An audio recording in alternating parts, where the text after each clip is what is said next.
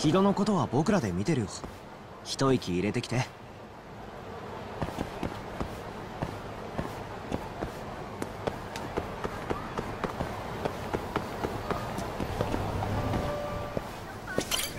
いらっしゃいませ。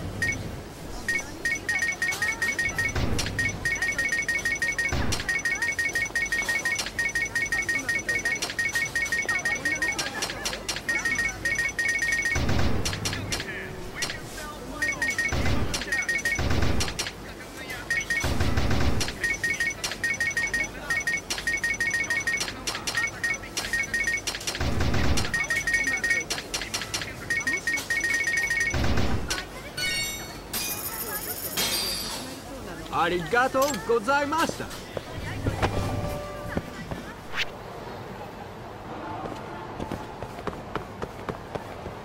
もういいの？八神さん。なら木田のとこに行く？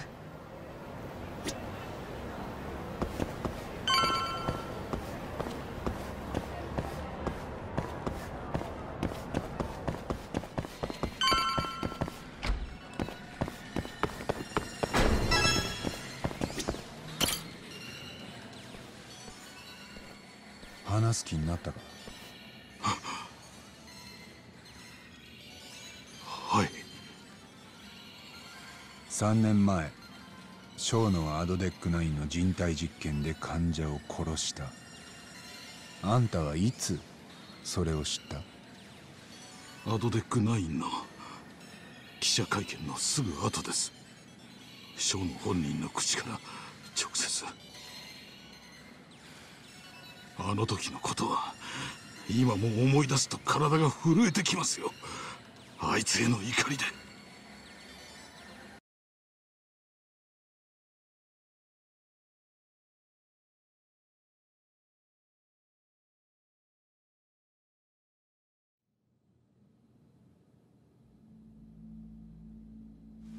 アドデック9が有効なのは今のところマウスに対してだけです。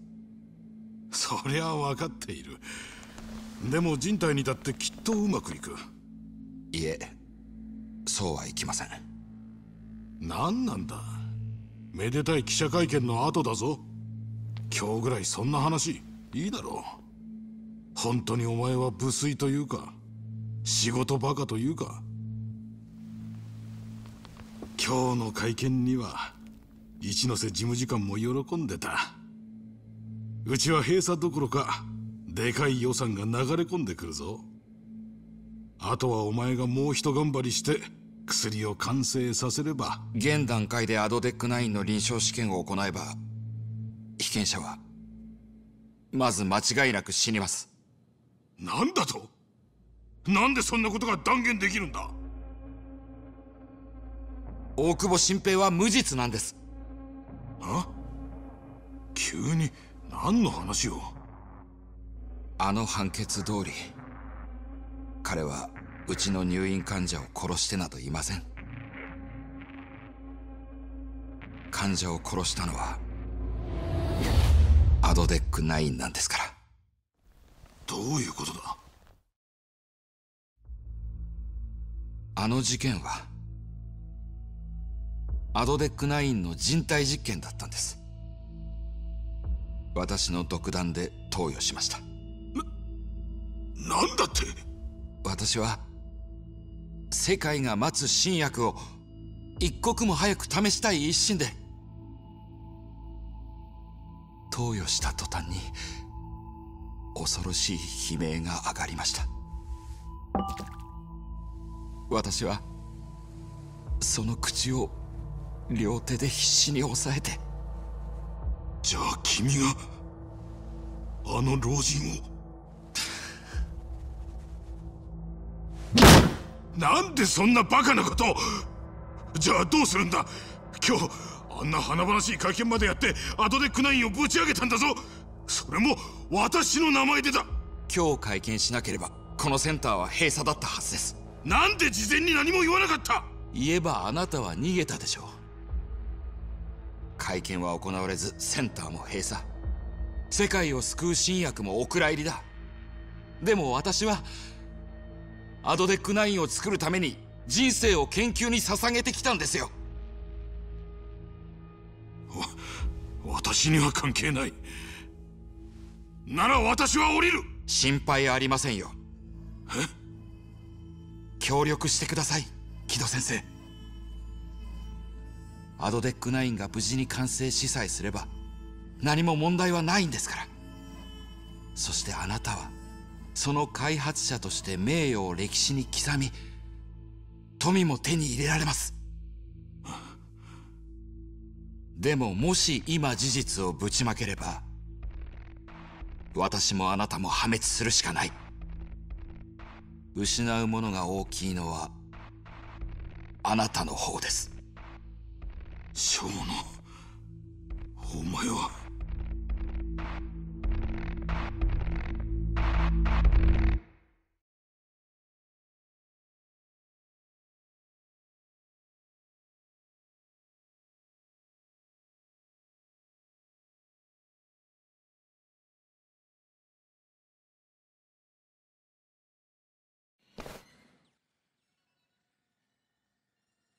小野が打ち明けたのはそれだけ？まだ他にもあったろ？小野は他にも人を殺してる。大久保新平を殺人鬼に仕立てるためにその寺沢恵美を殺したとも。やっぱり知ってたんだな！おい！さまだ話が済んでない。後にしろ。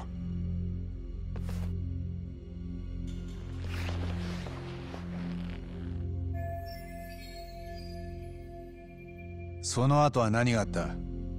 小野が寺沢恵美を殺した後。あんたたちはもう全部分かってるんだろう。副所長の橋木を始末したな。私がやったわけじゃないって。橋木はアドデックナインの弱みを嗅ぎ回ってた。小野やあんたにとって目障りな人間だ。ただそれを何とかするには助けが必要だった。アドデックナインを守ることで利害が一致する味方。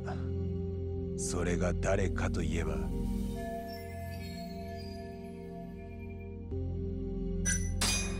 厚労省の一ノ瀬だ。創薬センターを厚労省の天下り先として育て上げた官僚のトップ。そそうです。私と小野は一ノ瀬さんに全てを打ち明け助けを求めました。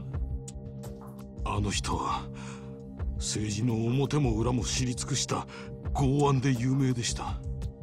私と小野は意を決して人体実験で患者が死んだことも寺沢恵美のことも打ち明けたんです。すると一ノ瀬さんはそれら全てを隠蔽し続けると即決してくれた。何があってもアドデックナインとその利権を守ると。だから橋木の口を塞ぐことにも躊躇がなかった。もともと一ノ瀬さんは橋木が梶平のスパイということも知っていたんです。その一ノ瀬の手配で羽村と黒岩が殺し屋として雇われたのか。たくクズがクズを呼ぶって感じだな。橋木が死んであとはアドデックナインさえ完成すれば全てが丸く収まるはずでした。しかし臨床試験をしてもしまた人が死ぬようなことがあれば新薬の完成は夢と消える。そしてセンターの存続もなくなりそれまで払った犠牲も全て水の泡になる。何言ってんの？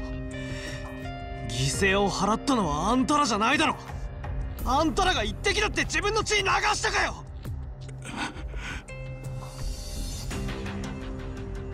話続けてくれる。手をこまねいていた私とは対照的にショーノは積極的でした。彼はこう言いました。アドデック9を完成させるためには実験の失敗を恐れてはならない。そして成功するまで実験を続けるべきだと。さらにアドデック9の開発を早めるためショーノは極秘の人体実験ができる仕組みが必要だと言い出したんです。仕組み？もしアドデック9がまた人を死なせてしまってもそれを隠せるなら危険を承知で何度でも実験は繰り返せる。つまり実験台の確保とその始末が速やかに行われる仕組みですそれができれば薬は必ず完成させると。それで協霊会のヤクザたちを実験台に。一ノ瀬さんは小野のその希望を全面的に聞き入れたんです。私は小野が必要とする裏金の調達役でしかない。創薬センターには厚労省の予算が流れ込んできましたそれを使って小野はカムロ町に秘密のラボを作らせたんです。秘密のラボ？人体実験はそこで行われてます。そのラボはカムロ町のどこにある？いや細かい場所までは。私は小野と一ノ瀬さんの話をそのなるべく聞かないようにしていて。そこが殺しの現場だ。協霊会のヤクザたちは全員その場所で殺された。そこになら何か証拠が残ってるはずだ。おい本当に場所知らねえのか？黒岩刑事ならもちろん知っているはずです。あんたと違って口を割る相手じゃない。それなら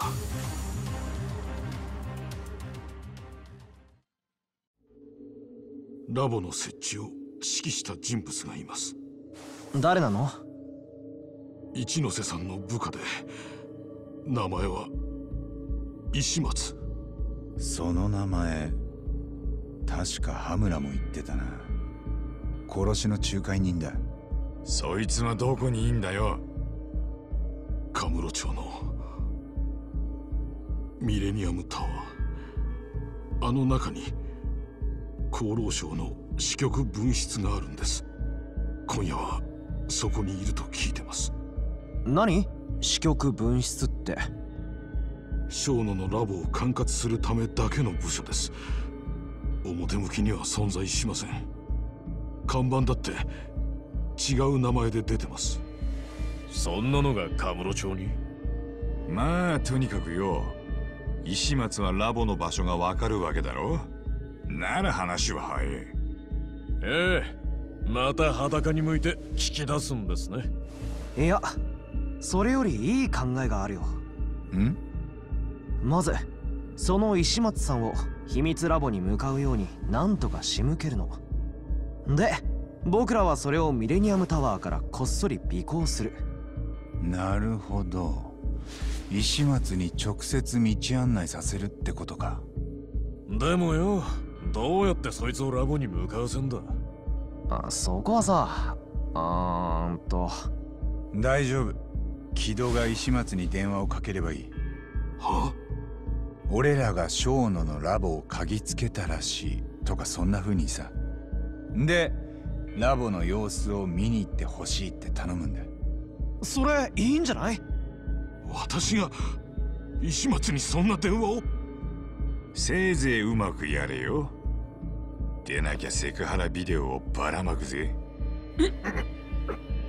決まりだね。石松の特徴は？年は50代くらいでグレーのスーツ。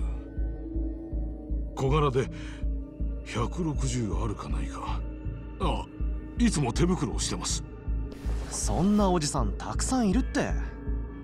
他には？ネットで写真を漁ればわかるかもしれません。石松って名前だけで検索しろっての？えいえそうじゃなくて一ノ瀬事務次官の写真を探すんです。多分どこかで石松も一緒に写ってるのがあるんじゃないかと。なるほど。それなら少し時間をかけりゃ見つかりそうだな。じゃあ海藤さんと東はここで軌道を見張っててくれる？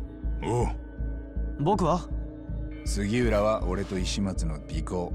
こっそりやんのは得意だろまあね。ならすぐに行こうよ。ミレニアムタワーに。石松の写真は見つけ次第お前のスマホに送ってやるよ。ああ作戦開始だ。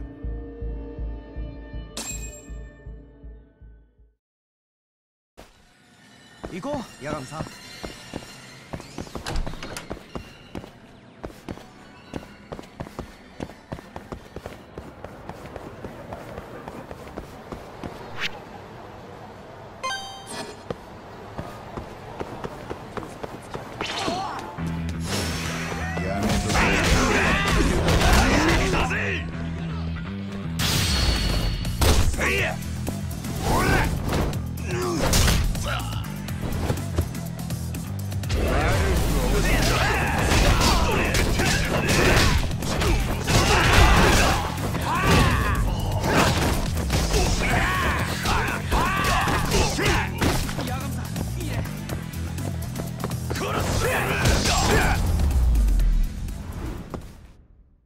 ったく時間食っちゃったよ。